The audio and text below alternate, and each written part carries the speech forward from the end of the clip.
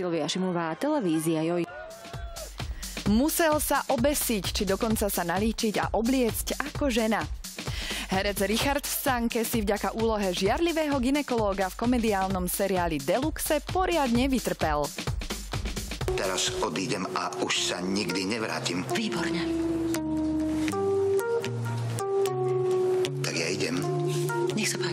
Kolegyňa z Národného divadla Zuzana Fialová je Richardová seriálová manželka. Ja som e, ginekolog, e, jej manžel a máme nejakú manželskú krízu, kde sa manželka chce so mnou rozísť a ja sa vlastne snažím ju opäť e, vrátiť k sebe. A je preto ochotný urobiť naozaj čokoľvek. Kam idete? Ste tu ubytovaná?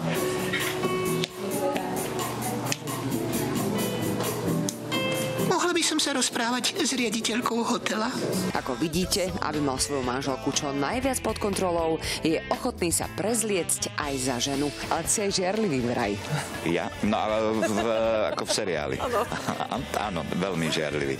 A dokonca tam bola jedna scéna, e, kde aby som vlastne nejakým spôsobom nie že vytrestal, ale vy, citovo vydieral tú svoju manželku Zuzanu, že sa obesím a že vlastne teda akože to tak nejak e, narafičím.